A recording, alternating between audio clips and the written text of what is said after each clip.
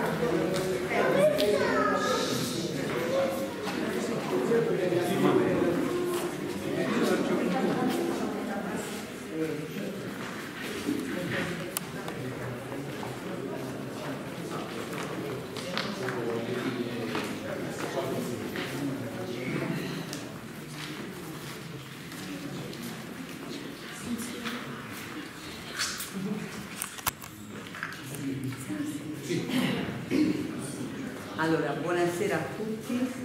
Eh, siamo in questo luogo così suggestivo. Eh, io mi chiamo Alamprese Raffaella e presenterò questa mostra che è un'occasione per esplorare e conoscere eh, due mondi artistici solo apparentemente diversi tra loro, ovvero sia la pittura e la fotografia. Eh, anche il progetto di questi autori e anche il titolo della mostra, Il visibile oltre, un titolo pregnante e significativo, eh, coniuga quindi due tecniche rappresentative, due linguaggi espressivi appunto, eh, la fotografia eh, del cui presente Giuseppe Locurcio e la pittura dell'artista Sara Lodi. Eh, La fotografia, come sappiamo tutti, è sicuramente un, un modo per interpretare ed analizzare la realtà e ci permette anche di catturare, di fermare immagini che altrimenti andrebbero perdute. L'arte ehm, invece, che è un linguaggio molto più antico, comunque ha sempre rappresentato la realtà attraverso linee, attraverso segni e attraverso anche supporti dimensionali come potrebbero essere le tele, come sono le tele. Quindi l'indagine del, del reale, la- il dato visibile, è sempre il punto di partenza di un percorso artistico, di un, di un cammino di costruzione artistica e sicuramente questi due autori ehm, hanno- sono comunque partiti dall'indagine del reale per poi trasformare lo stesso in un modo del tutto personale e particolarmente suggestivo come già potete osservare. Nella pittura di Sara Lori ehm, sicuramente spesso ehm, il punto di partenza è proprio la fotografia, l'indagine di un frammento fotografico dell'infinitamente piccolo eh, che poi lei trasforma in un modo del tutto diverso e personale nelle sue tele. I suoi soggetti sono molecole, eh, proteine, cellule che vengono osservate e riprodotte nella loro scomposizione, nella loro struttura infinitesimale e vengono quindi trasfigurati per cui dal visibile, dal dato oggettivo c'è altro e si va oltre.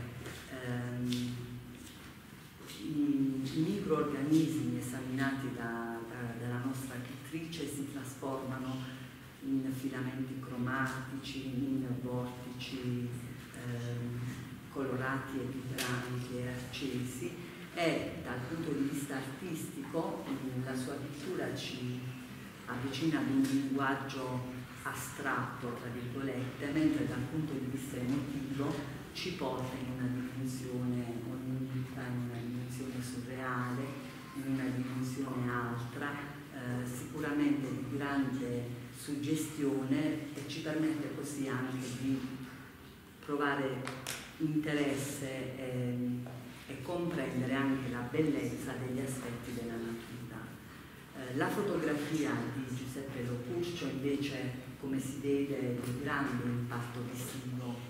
Eh, pensiamo ad esempio alle costruzioni in titanio, eh, alle costruzioni in acciaio che mh, manifestano proprio questa urgenza comunicativa tipica dell'arte informale e anche della fotografia informale.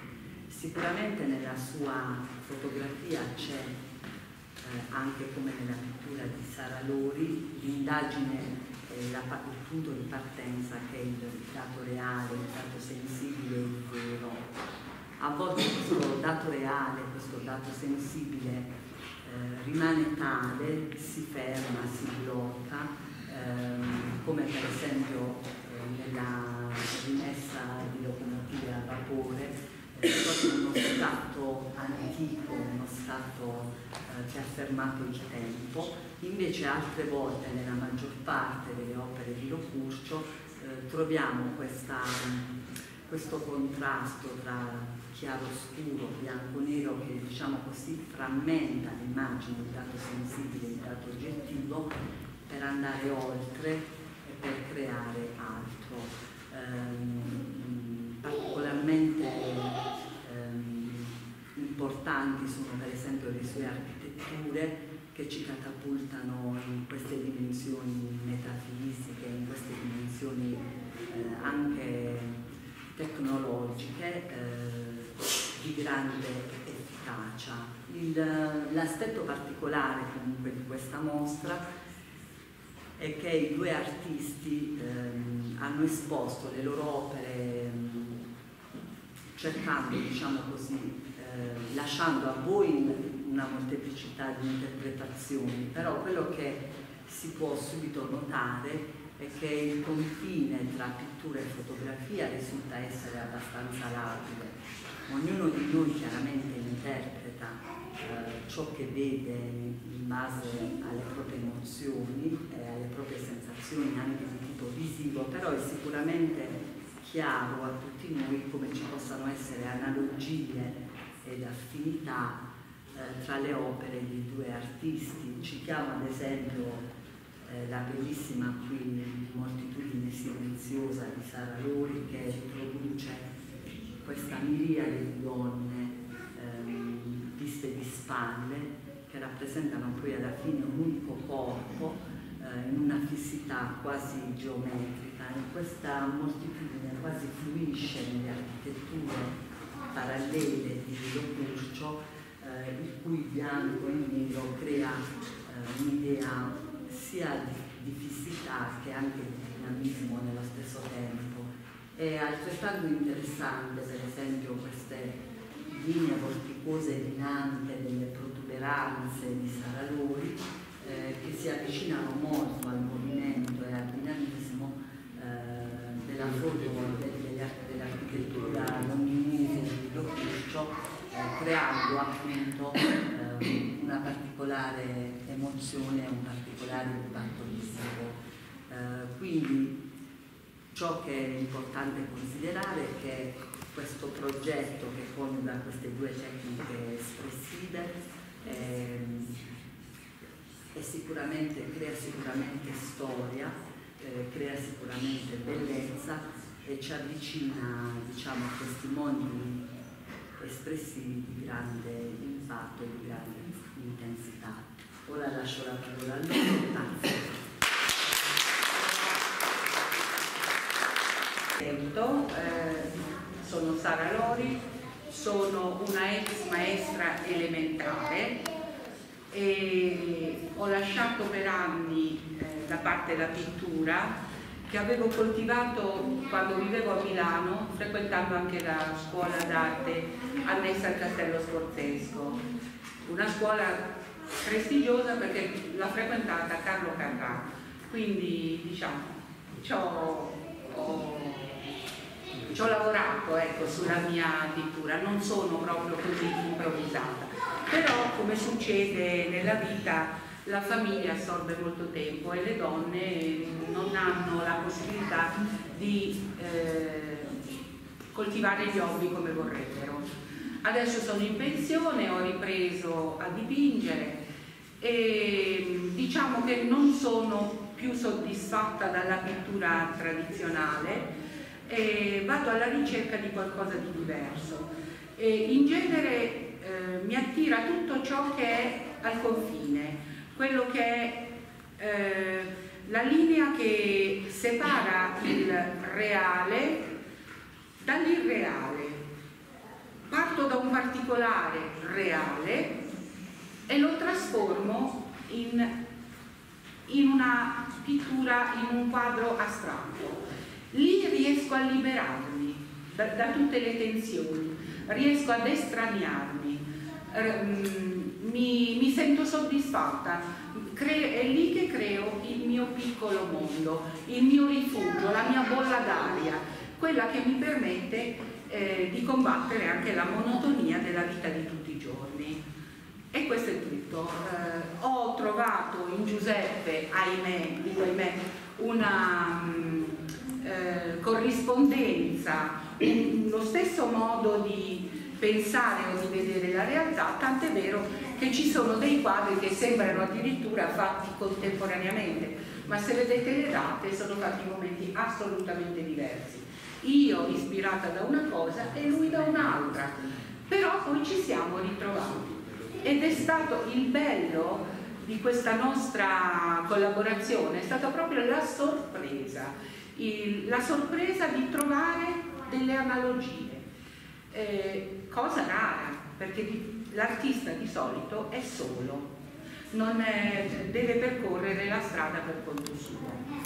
E, e ripeto, mio essere astratto non è astratto, perché parte sempre dalla realtà, del resto noi, esseri umani, non creiamo nulla, ma rielaboriamo quello che la natura offre al nostro sguardo. Io la penso così. Grazie.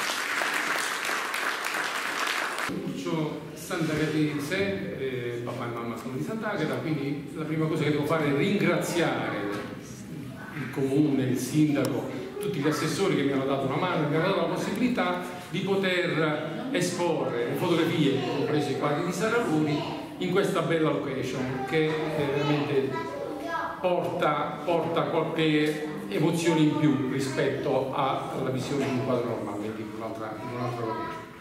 Eh, dopo aver ringraziato tutti, ringraziato anche la professoressa e Sara che mi supporta e mi sopporta a volte nell'abbinamento dei quadri che abbiamo fatto con le fotografie. E mh, siamo contenti di questo perché nella prima, eh, la prima volta che abbiamo esposto a Foggia eh, a novembre dell'anno scorso abbiamo avuto una, una, una, grande, una grande partecipazione, una grande serata con tante persone, con tanti artisti e qui abbiamo anche Franco Marotti che era qui presente, siamo rimasti meravigliati da come abbiamo trovato, io dei negativi, tra virgolette negativi, ormai sono, sono dei file, in un archivio e li abbiamo messi vicino a dei quadri fatti ma tanti anni prima. E abbiamo trovato queste linee, queste curve, questi movimenti strani perché io così li chiamo movimenti strani, perché come mi voglio agganciare un pochettino a quello che diceva Sara, che gli artisti sono soli. Io mi chiamo lupo solitario perché per fotografare esco da solo, altrimenti non riesco a fotografare. Ma siamo così, gli artisti sono strani tutti quanti. Quindi eh, non voglio dilungarmi perché poi divento un pochettino eh, logoroico e quindi voglio dare eh, diciamo, la voce, se me lo permettete, ai quadri, quindi eh, alle eh, ringrazio tutti della, di essere qui presenti e questa volta faccio io un applauso a voi.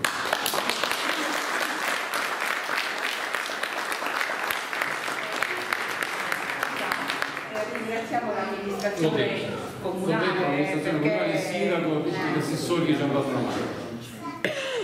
Va bene, e adesso poi sentiremo, saremo accompagnati da, dalla serata con eh, i tre nostri grandi artisti. Ci sarà il concerto di musica rinascente. Musica rinascente per tutti voi, giusto? Grazie.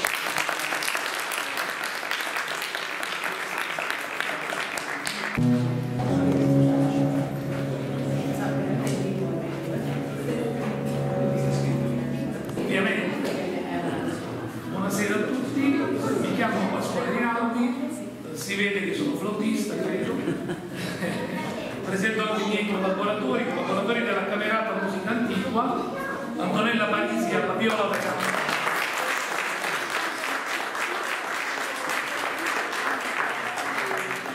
Non chiamatelo violoncello, è una viola da campo. Sì. E Mauro Del Grosso all'U